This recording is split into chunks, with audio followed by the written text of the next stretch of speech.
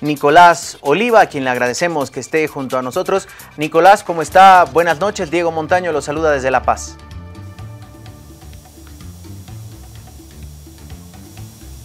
Buenas noches, Diego. Un gusto estar en, este espacio y poder compartir algunas ideas con ustedes.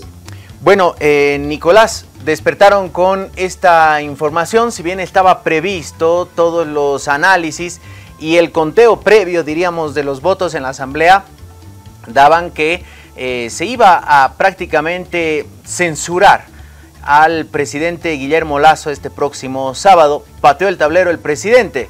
La pregunta es legal, pero ¿es legítimo este, este decreto que hoy anunció el presidente Lazo?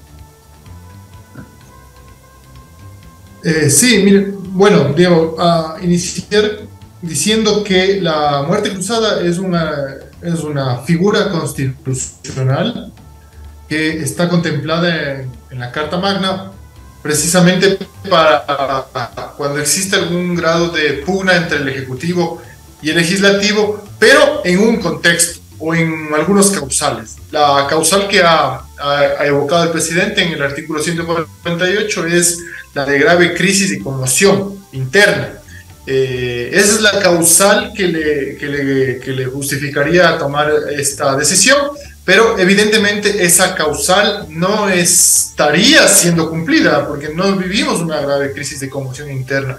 No hay, no sé, lo que pasó en junio del año pasado, grandes movilizaciones, protestas, heridos, muertos, por decirlo, ¿no es cierto? No hay esa, esa, esa, condicionalidad. Entonces, eh, la muerte cruzada evocada por el presidente de la República al parecer tiene poca legitimidad, ¿no es cierto?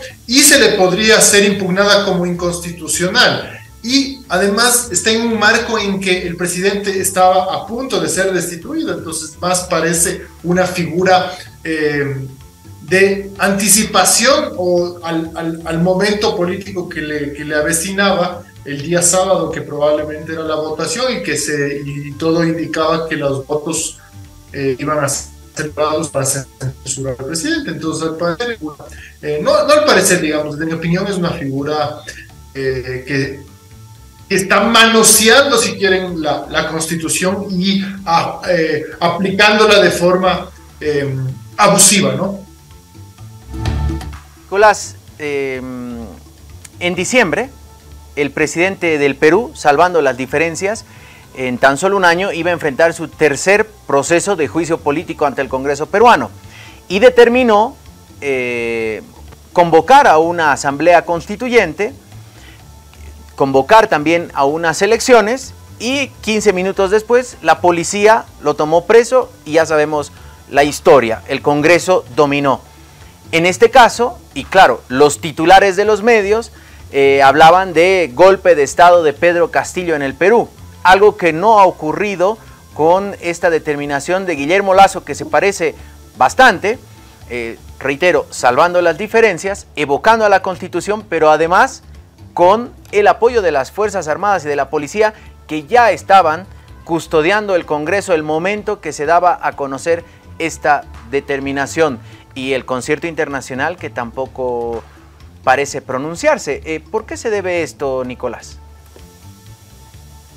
Claro, eh, evidentemente siempre la, el, sistema mediático, la matriz mediática aplica sus, sus herramientas de presión dependiendo quién está en el cargo, ¿no? no sin irnos mucho más allá eh, al Perú, en el mismo Ecuador, en junio de 2022, Diego, eh, la, la, oposición al gobierno, dado una grave crisis de conmoción efectivamente ocurría, plantea la muerte cruzada y claro, el golpismo de, bueno, en fin, es una, la, misma, la misma idea, ¿no? De gran golpistas.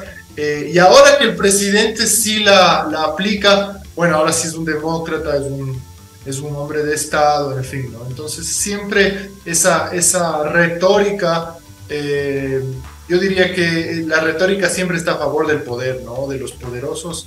Eh, más allá del que tenga el poder constituido, sino los poderes de facto, ¿no? Entonces, Eh, ahí yo creo que coincido con, tu apreciación, es un doble rasero que se, que se aplica en el caso del Perú y, sin irnos demasiado lejos, hace apenas eh, seis o ocho meses o unos nueve meses, diríamos, ya eh, ocurría lo mismo en el Ecuador y se le tildaba, en cambio, en este caso, de, de golpistas a la oposición, al gobierno que quería acogerse, en este caso, al 130 también, que era un mecanismo para llamar a unas elecciones, ¿no?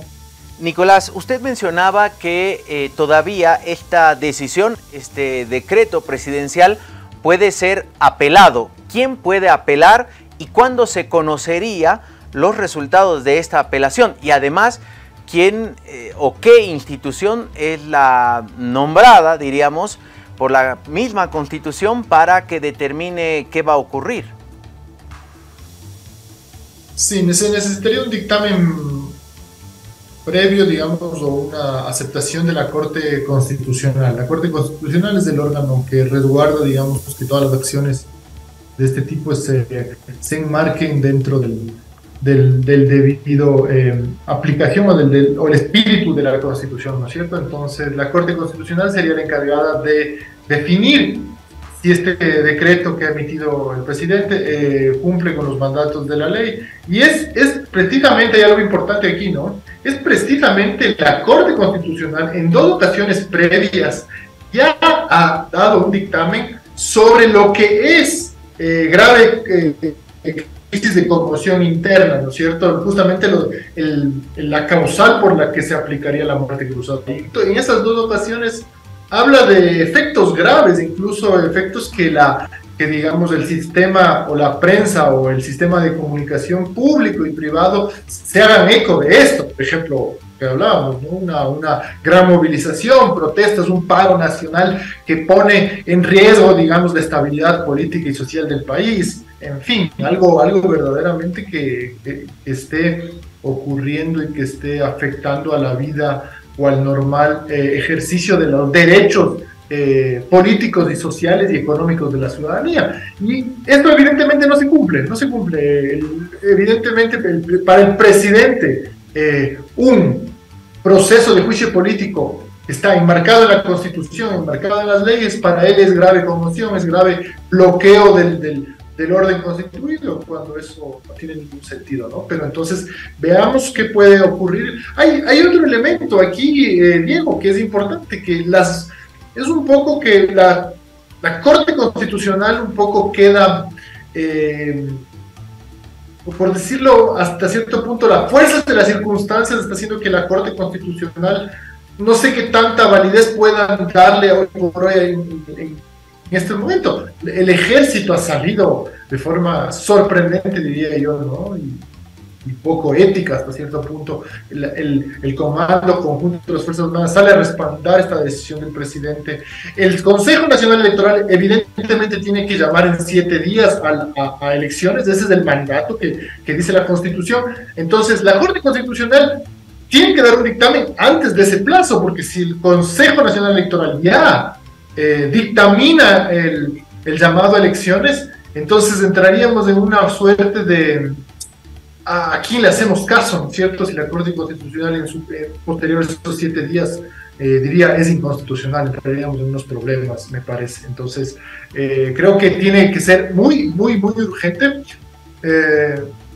veamos qué, qué, define la Corte Constitucional. Todo indicaría que la Corte Constitucional no se va a oponer, pero, pero que queden, digamos, para la historia, si quieren, hasta cierto punto, para la historia de, del país y de América Latina, que al final el presidente, al, parecer, se ha arrogado funciones eh, eh, en, una materia tan delicada.